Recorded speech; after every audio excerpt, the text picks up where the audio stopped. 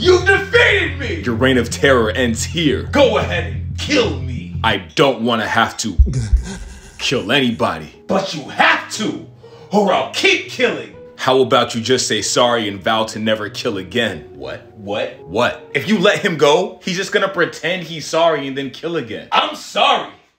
I'll never kill anyone again. You promise? He's being sarcastic. No, I think he's really serious this time. Hey, do you guys know where the- Explode!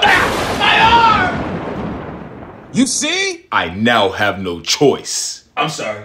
It was a force of habit. I'll never do it again. I promise. Do you pinky promise? What difference is that gonna make? Yes, yes, I. Surprise attack! My weakness. A ten of spades. Oh, we gonna die.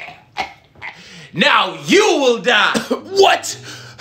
How could this happen? How could this happen? I don't understand what I did wrong. I do, and so does he. Sidekick, stop him. I'll do my best. But if he apologizes, give him another chance. you just never learn your lesson, do you?